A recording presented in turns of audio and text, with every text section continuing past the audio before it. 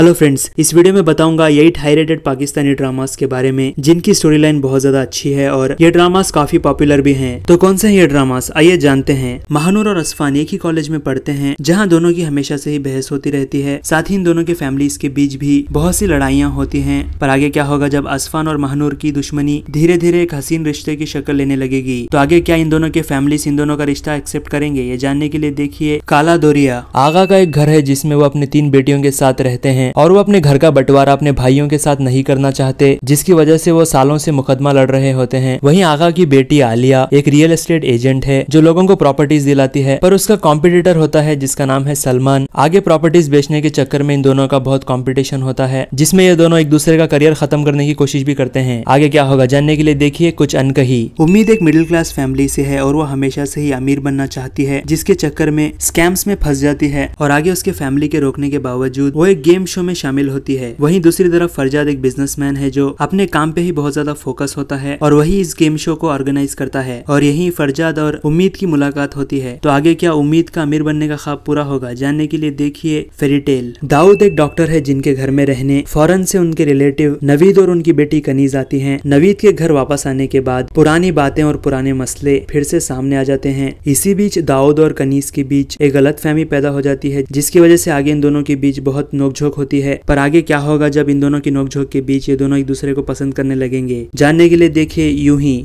सारिम एक software engineer है जो एक जॉइंट फैमिली में रहता है और दूसरी तरफ़ है एक डॉक्टर तारा जो अपनी माँ के साथ रहती है। सारिम और तारा एक दूसरे को पसंद करते हैं। साथ ही वो शादी करना चाहते हैं, पर आगे क्या होगा जब शादी के बाद तारा को जॉइंट फैमिली में रहना होता है, पर सेरिम ज्वाइंट फैमिली में नहीं रहना चाहता। तो सेरिम और तारा की लव स्टोरी के बीच आगे क्या होगा? तो जानने के लिए देखिए चाँद तारा। साद अपनी कजिन माहिर को हमेशा से ही पसंद करता आया है, पर वो कभी भी माहिर को अपनी दिल की बात नहीं बता पाया। पर एक रात एक पार्टी में माहिर की मुलाकात अरीब से होती है, जो एक अमीर बिजनेसमैन का बेटा है, और यहाँ वो माहिर को देखते ही उसे पसंद करने लगता है, पर माहिर किसको चूज़ करेगी? और आगे क्या होगा माहिर अरीब और साद के लाइफ में? जानने के लिए देखिए, मुझे प्यार हुआ था। ये कहानी दरिया और खादर की है। एक तरफ़ दरिया हमेशा से ही एक अमीर और फाइनेंशियली स्टेबल लड़के से शादी करना चाहती है, आगे उसे वसई का रिश्ता आता है, जो एक अमीर फैमिली से होता है, पर शादी होने के बाद देरिया को पता चलता है कि वासे एक घमंडी और शॉर्ट टेम्पर इंसान है, जो उस पर हाथ भी उठाता है। वहीं दूसरी तरफ़ खदर है, जिसकी शादी हमाद से होती है, पर आगे जाके खदर को पता चलता है कि उसका पति हमाद एक कामचोर और बेरोजगार आदमी है। तो आगे क्या होगा देरिया और खदर की लाइफ में? जानने के लिए देखिए तिनके का सहारा।